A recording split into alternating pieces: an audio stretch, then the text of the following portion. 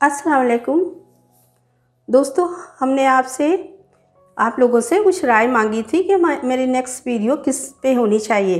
तो हमने कुछ ऑप्शंस दिए थे।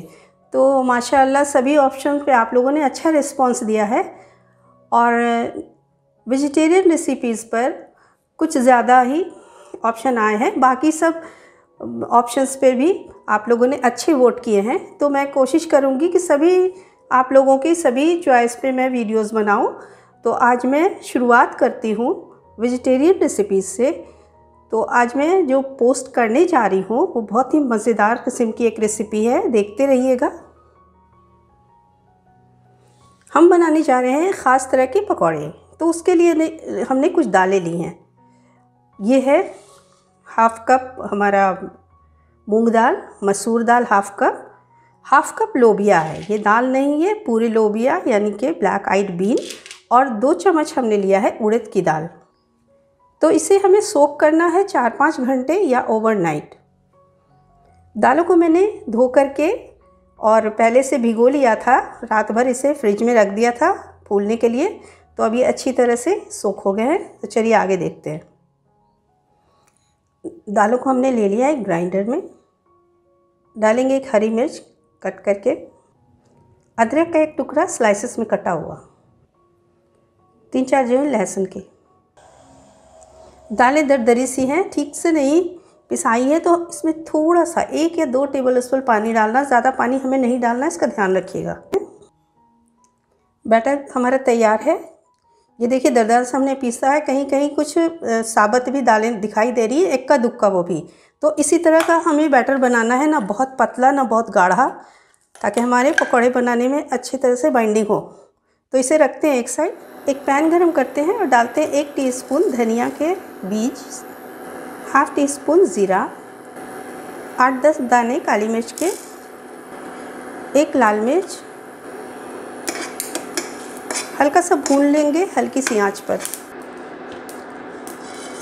तीस सेकंड हमने भूना, अब इसको हटा लेते हैं फ्लेम से। मसालों को दरदरा सा ग्राइंड करेंगे।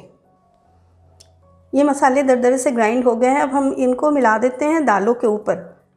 हम चाहते तो पाउडर भी यूज़ कर सकते थे, धनिया का और मिर्ची का पाउडर लेकिन ये जो हल्का हल्का हमने दरदरा सा पीसा है तो इसका टेस्ट मुँह में आएगा तो पकौड़ों का मज़ा और भी इन्हेंस हो जाएगा दोस्तों। तो इस बात का ध्यान रखिएगा। डालेंगे एक चुटकी भर अजवाइन। इसको मिलाएँगे और ध्यान दीजिएगा, अभी हमने इसमें नमक नहीं मिलाया है। ढक के रखते हैं एक साइड अब तैयार कर लेते हैं।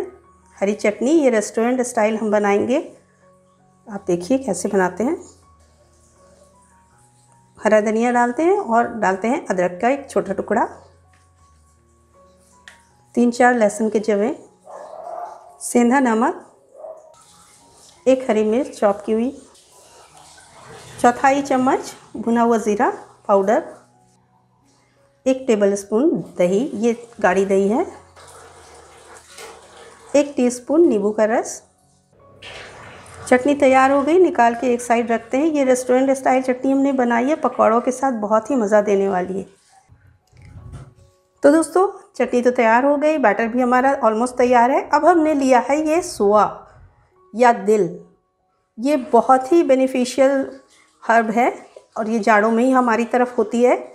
ये देखिए, धनिया पत्ती, जैसे हमारा धनिया की, धनिया पत्ता होता है ना, उसी की तरह या गाजर की तरह इसके पत्ते होते हैं इसके। तो अब हम इन्हें करेंगे चॉप।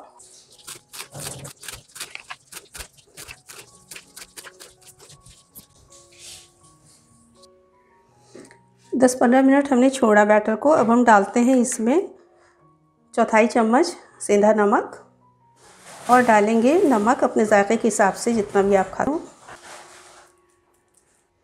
डालेंगे ज़रा सा चुटकी भर हल्दी, जो देगा हमारे पकौड़ों को एक अच्छा सा रंग। ये एक छोटे प्याज को हमने बारीक काट लिया था स्लाइसेस में। थोड़ा सा हल्का सा इसको हाथ से क्रश करेंगे और मिला देंगे बैटर में। अब डालेंगे ये दिल। ना कि हमारे पकौड़ों को जल्दी ही बना लेना होगा, वरना चूँकि हमने सब्ज़ियाँ डाली हैं, इसमें पत्तियाँ और प्याज और नमक भी डाला है तो नमक से पानी छूटेगा। जिससे हमारा बैटर बहुत सॉगी हो जाएगा। तो दोस्तों, ध्यान रखना है कि जब हम मिक्स कर लें तो हम पकौड़े फ़ौरन ही बना लें। तो चलते हैं बनाते हैं पकौड़े। हमने ऑयल को गर्म किया है, ये अच्छी तरह गर्म हो चुका है। फ्लेम को हम मीडियम करते हैं। देखिए, इस तरह से हमने बैटर को इतना सा लिया हाथ में, थोड़ा सा गुलाई देते हुए और आहिस्ते से तेल में डाल देते हैं। अगर आपकी प्रैक्टिस नहीं है तो आप चम्मच से भी डाल सकते हैं। पकौड़े डालने के एक मिनट तक हम इन्हें बिल्कुल नहीं छेड़ेंगे। एक मिनट के बाद हल्का सा चलाना है। देखिए, पकौड़े बिल्कुल सुनहरे हो चुके हैं। अब हम इन्हें निकाल लेंगे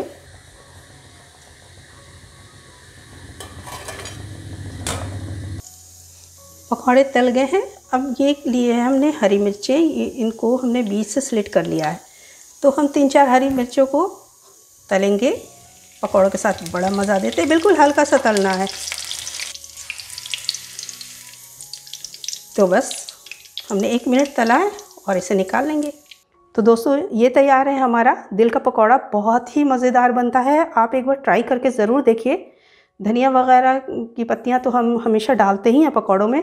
लेकिन दिल की पत्तियाँ डालिए तो उसका टेस्ट इतना बढ़ जाता है। और उसके अलावा हमने ये मिक्स दाल लिया है तो मिक्स दाल की वजह से भी पकौड़ों का टेस्ट बहुत अच्छा हो गया है।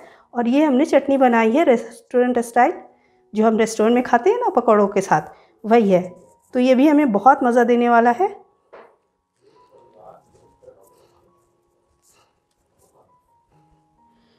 तो दोस्तों, हमें फ़ीडबैक ज़रूर दीजिएगा और हमें कमेंट में ये बताइए कि अगर आप पकौड़ों में दिल ना डालें तो पकौड़े कैसे बनते हैं? अगर हम धनिया की पत्तियों के साथ बनाते हैं पकौड़े कैसे बनते हैं हमें ज़रूर बताइएगा। तो हम हमको आप लोगों को हमारी ये रेसिपी ज़रूर पसंद आएगी। तो मिलते हैं एक, एक नई रेसिपी के साथ। अल्लाह हाफिज़।